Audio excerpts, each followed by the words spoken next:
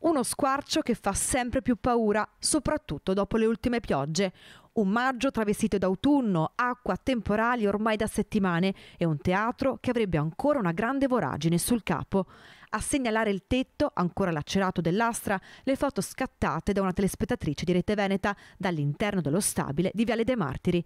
La signora in passeggiata, trovando le porte aperte, sarebbe entrata indisturbata, curiosa dello stato di salute dello stabile ed alzando gli occhi, ecco di nuovo la voragine. Se c'è ancora un buco eh, le preoccupazioni aumentano perché insomma, non sono settimane in cui il tempo è molto soleggiato, sono settimane in cui sta piovendo a dirotto eh, quasi tutti i giorni, quindi non oso immaginare quanta acqua possa essere entrata all'interno del teatro e quanto quest'acqua che, che, è entrata direttamente, se il buco c'è stato in queste settimane, chiaramente eh, quanti danni possa aver fatto, ulteriori danni rispetto a quelli eh, che già ha fatto in precedenza. Una pioggia senza fine quella dell'ultima settimana, che non lascerebbe scampo ad allagamenti.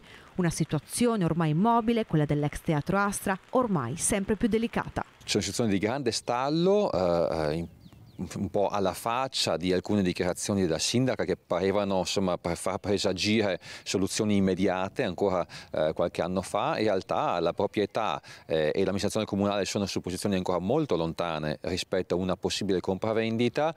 Primo, secondo, questo è sotto gli occhi di tutti, eh, la proprietà non è che sembri prendersi cura particolarmente del bene, nel senso che per carità quando ci sono i crolli ci sono gli interventi, però eh, probabilmente sarebbe stato opportuno intervenire prima che ci fossero i crolli, quindi non si capisce bene neanche sul fronte della proprietà quali siano le intenzioni.